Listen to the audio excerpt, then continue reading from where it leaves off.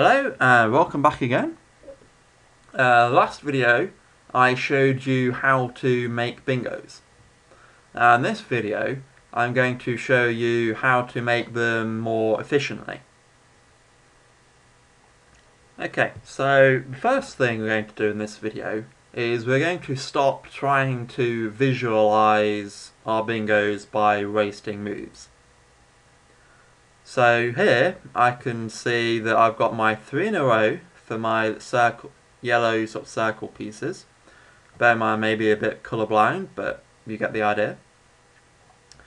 Now what I want to do is make sure that I have all my other pieces in the general area and I'm going to format my plan to make sure it's efficient before I do it. So I'm going to start just visualizing this in my head instead of actually doing it now. So I can tell that, okay, I want to move these yellows across, across. So at least, you know, here's two clicks to move this yellow across. Uh, I've got to move this one across here, so that's one, two, three clicks. Uh, then I've got to move this blue somewhere, so if I move this here, I'm going to accidentally clear, so I don't want that. So that's the click there, and I've got to click that, so that's, what was that, one, two, three, four, five, six, seven points for bingo. Now what I'm going to do is I'm going to go on my website, I'm just going to check the tips, see what it said. Um, let's see, we got a bingo here, which is 24 points, but this isn't quite the one I was looking for. Um, I'll update this with the other one, so I'm going to look on the forums, as he's posted this in his forum, his forum thread. So I'm just going to look down to do do do do a quick search TZZ. There we go. He posted it for bilging here. Uh, so this will be available on the web on my tips when I do this. So this is his aim for how many clicks I should be doing this in. So he said bingo, I should be aiming to do in six clicks for an incredible. Now I've just found a bingo in, what was it, seven clicks or so. So this isn't going to get me an incredible, but for right now, you know, we're getting well on the way there. So I'm going to do my clicks. And there's my bingo. I'm going to start my pattern matching again. So look, I've got my three blues in a row. And I've also got all the horizontal things in place. I've got these blues here, and I've got these whites and blues. So I don't need to visualize to make sure the pieces are there, because they quite clearly are. So now I'm just going to see how many clicks this is going to take me. So I'm going to one click here, um, let's think, I don't know, two, three, four clicks.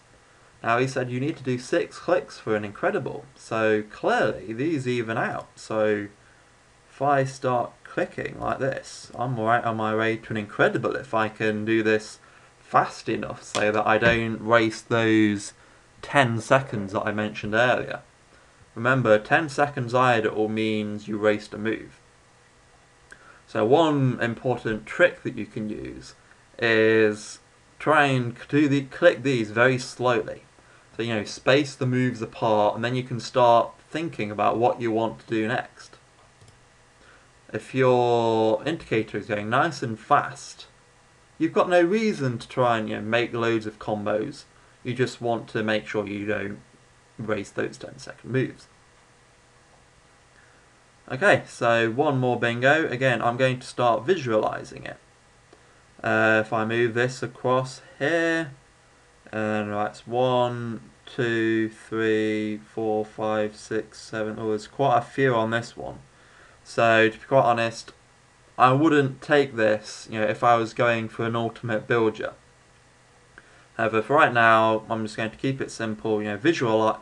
I'll show you what I would have done, what it would have done. So, one. And now, now this is a very important thing that you need, should learn is if I just started moving the blue across, now I've got to basically undo this move. To see when I move this blue across. So this is why I'm going to start visualizing things in advance. Because that has just cost me a move or two. And we don't want to be doing that, you know, we want to be doing it as efficiently as possible. So I'll start looking around for another potential bingo. And quite frankly, I don't see one. But the Navy bought ship is about to port anyway. So remember, you don't have to do bingos all the time. If you can't visualize it and see that you're getting close to that, you know, six click mark to make your bingo, quite simply, do not go for it.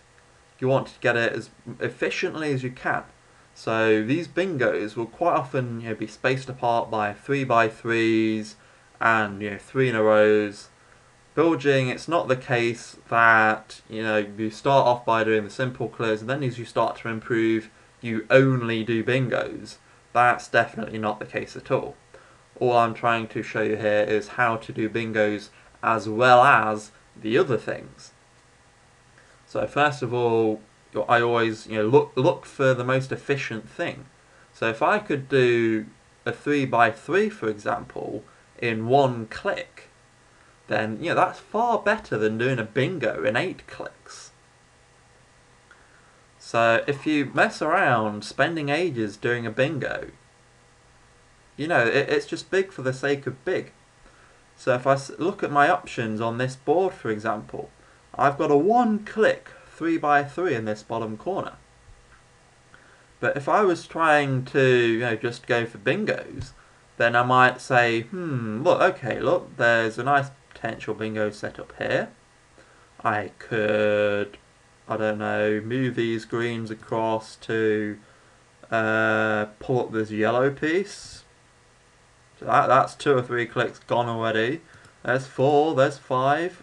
Whoops, you know, I've just made a mistake. Uh, let's try and fix that. Okay, and there's my click up gone.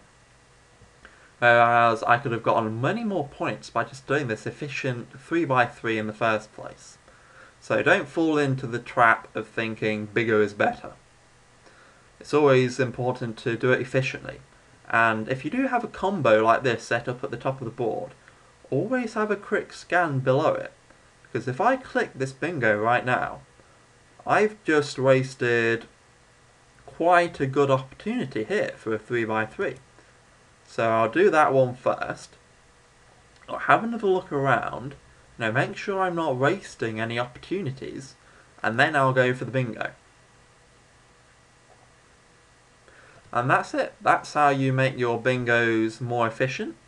And on the next video, we will go on to looking how to make sea donkeys.